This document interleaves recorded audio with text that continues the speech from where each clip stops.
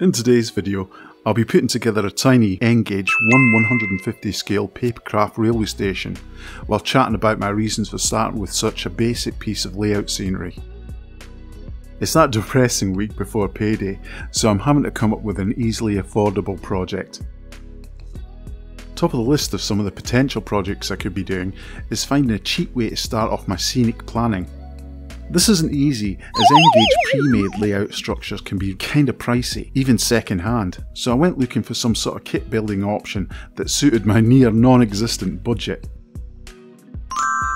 After some searching, I came across a Japanese website that features some rather charming 1 150 Japanese buildings in form of papercraft kits, which you could download for free, and this was exactly my sort of price range at the moment. Now these little buildings are a little simplistic, but they will give me some inspiration for future scratch building projects, and also familiarise me with the workings of N-gauge dimensions. Plus these look like a great way to spend my time at the moment. The process is consummately simple. Download the PDF kits, cut out the parts and glue them together. Again, obviously these models are a bit lacking in detail, and what detailing they have is rendered in flat and two-dimensional print. But one of the useful things about these tiny buildings, for a complete N-gauge beginner like myself, they will be perfectly adequate as placeholder models until I finalise the plans for my finished layout. In fact, these houses will help me plan the space I will utilise in any of my residential or commercial areas of my layout. And being free, I can print out and build as many as I like, thereby getting a pretty good idea about how I might position any future scratch built versions.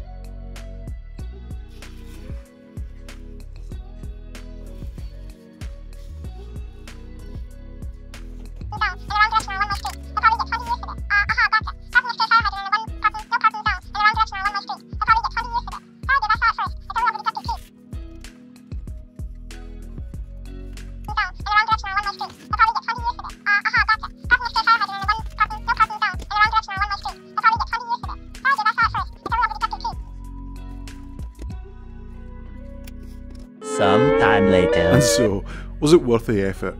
Well, yes and kind of no. Undoubtedly, these flimsy paper models are not a long term solution for my scenic needs.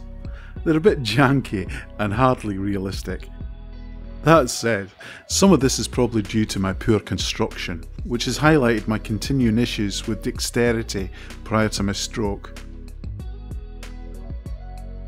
There again, this project has achieved some of the goals I had in mind. It's provided me with a temporary placeholder model with which I can gauge the use of space on my projected layout.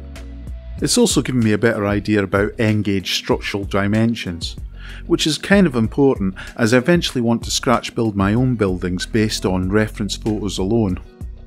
The details on this paper kit has given me plenty of examples of Japanese architectural style and accents and I will certainly be using these as a template to implement detailing on any future models that I build myself.